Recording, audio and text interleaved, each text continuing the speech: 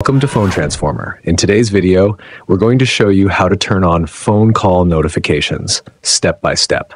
Before we get started, don't forget to subscribe to our channel for more helpful tech tips and tutorials. Step 1. First, open the Settings app on your device. You can usually find this in your app drawer or on your home screen. Step 2. Next, scroll down and click on Apps, then select Manage Apps. This will take you to a list of all the applications installed on your device. Step 3. From the app list, click on Phone. This will open the app's settings where you can adjust its notifications. Step 4. Click on Notifications, then toggle on all the notifications by going to each notification section.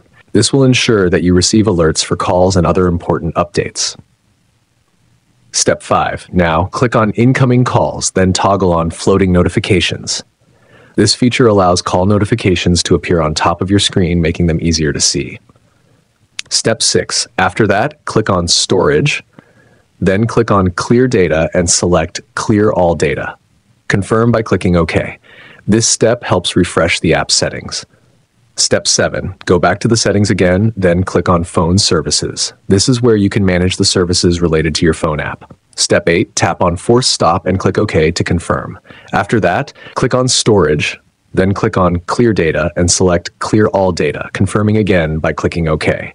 This step will help resolve any lingering issues. If the problem still isn't fixed, try this.